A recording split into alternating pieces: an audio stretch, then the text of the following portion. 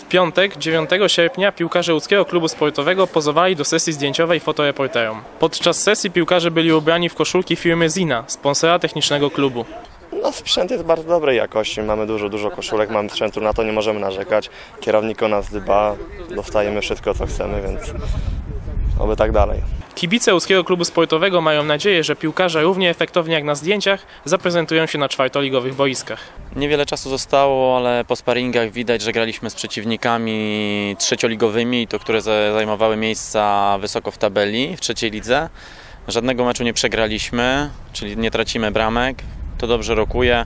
Mam nadzieję, że też uda się coś strzelić zawsze i będzie, będzie bardzo dobrze. W najbliższym meczu ŁKS-iaków będzie dopingowała 500-osobowa grupa kibiców łódzkiego klubu sportowego.